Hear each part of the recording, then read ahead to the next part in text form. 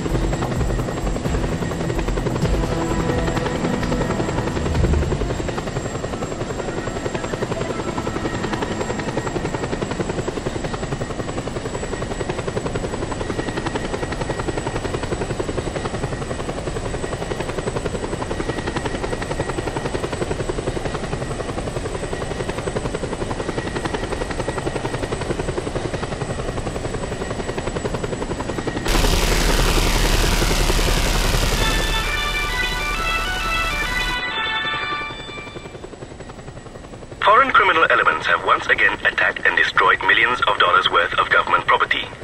According to a government spokesperson, the attack on the Kastelo Singa military base today is just the tip of the iceberg.